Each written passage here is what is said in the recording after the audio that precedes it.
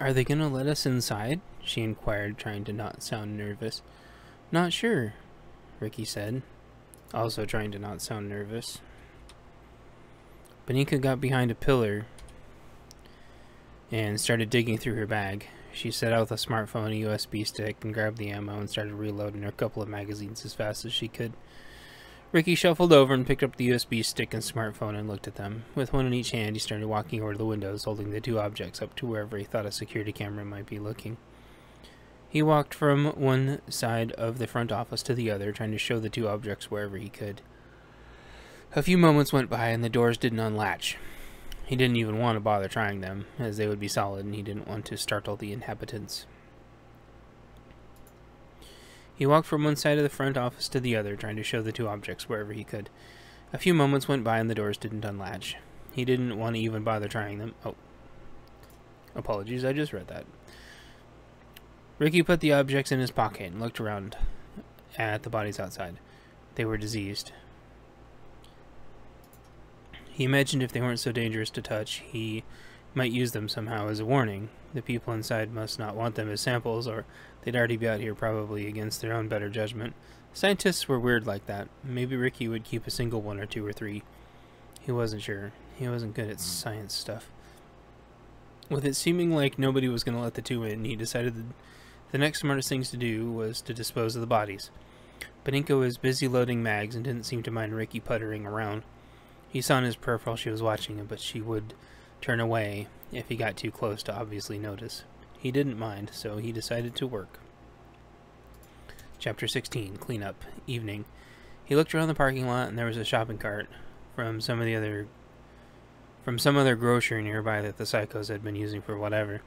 Elsewhere around the parking lot he found a shovel one of them had been using as an improvised weapon.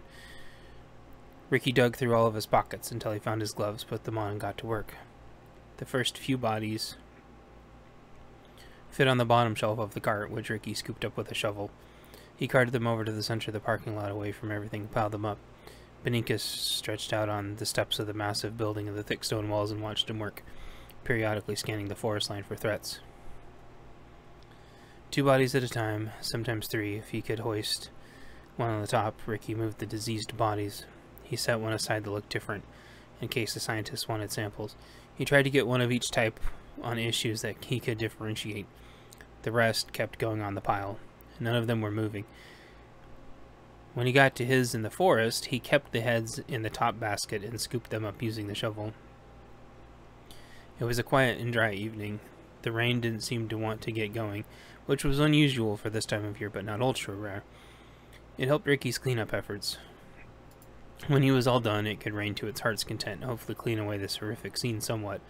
Thinking about the calmness of the parking lot and the cooling of the air, Ricky started to smell the gore and realized how disturbing of a situation it was. There were over 50 bodies piled up in the parking lot with a nest that Ricky had made so the heads wouldn't go rolling off.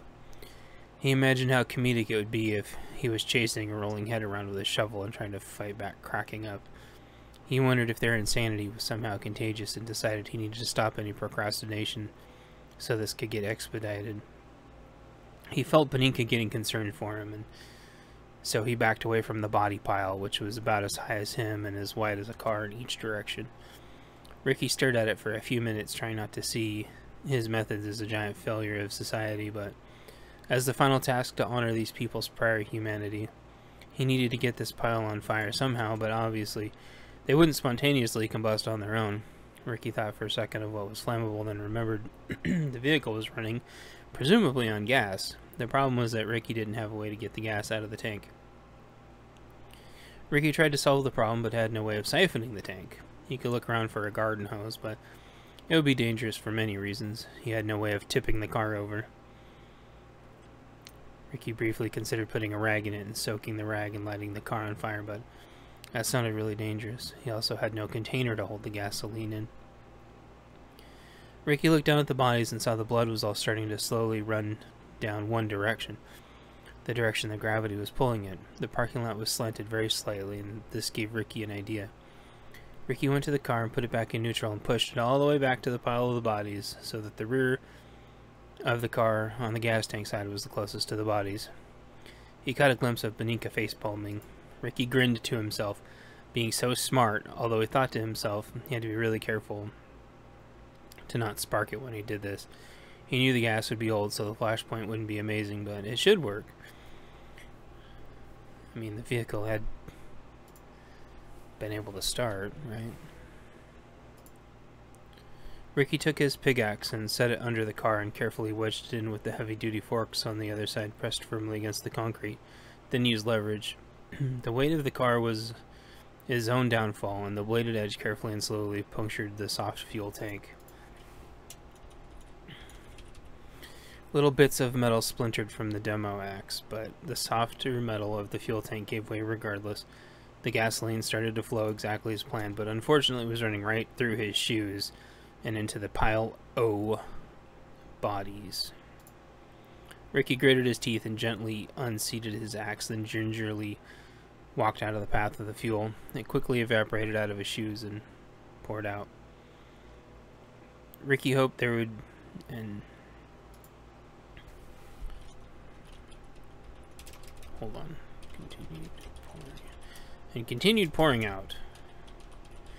Ricky hoped there would be enough to complete this task thoroughly. He stood back several more steps, then turned to give a thumbs up to Beninka. She didn't seem to have a response, like she was lost in thought. He thought to himself he could strike his axe against the pavement on the other side to hopefully ignite the fuel once it was empty, but no idea if it would actually work. He figured if he kept smacking the pavement enough, it'd eventually spark, but until the tank was empty, he would wait. The clothes of the deceased crazies soaked up quite a bit of the fuel before it started streaming past. Ricky tried to figure out other ways of, to capture the fuel so as much could be allocated to the task as possible. He had no intention of going anywhere near the bodies due to the concealed needles and disease, and went and popped the trunk of the car to see maybe if there was some fabric inside. The trunk opened easily, and Ricky got away from the trail of fuel again. The trunk was full of clothes and tons of different people's checkbooks and credit cards. Ricky thought to himself it was getting very hard to find anything redeemable about these people, but he assured himself they weren't all originally this way. Many of them were as much victims on some level as they were predators, even though they all ultimately did have a choice at some point. Ricky picked up a shovel and carefully shoveled clothes onto the fuel, escaping the other side of the bodies. He didn't dare reach in and grab in case there were any traps. He imagined at some level in this trunk could be an entire stash of more needles. There was no way to know. Ricky kept piling more checkbooks and clothes onto the fuel on the other side until he made a good barrier. Ricky started pulling up into the pile more, and Ricky stepped back again. The sun began to set, and Ricky felt the temperature beginning to drop more. He looked at the fuel, and it stopped pouring out of the tank and seemed to be at a drip. There wouldn't be enough to explode the vehicle anymore, thankfully. To make sure the car wouldn't be damaged in any way by the heat, Ricky pushed the car safely away and put the parking brake on. Ricky turned around from his completed mini-task, and Beninka was standing behind him as silently as a shadow.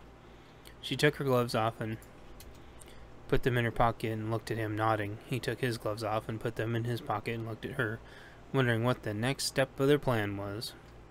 She reached up and flinched, subconsciously expecting to get smacked again. Wait, he. Oh, wait. Beninka reached up and Ricky flinched. Subconsciously expecting to get smacked again. Beninka giggled, took Ricky's hand, and walked him back to the pile of diseased refuse until they were about 20 feet away.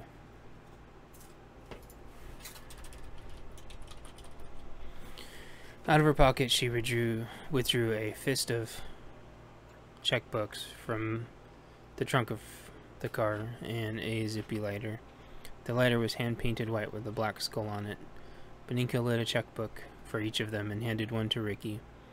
As the sun finished setting, they toasted their checkbooks to each other, then tossed them on the pile, both finding fumes and igniting the pile. Ricky got an idea and pushed the car back so it was close enough to the fire to watch, but far enough so they wouldn't get burned. He set the e-brake, then sat on the hood with his back against the windshield. Beninka smoothly and silently walked over to the car, hopped on, and scooted into his jacket and under his arm, the sweet aroma of licorice gently soothing Ricky. As Beninka curled up to him, they watched the corpses burn far into the night and accidentally dozed off in the bonfire in moonlight.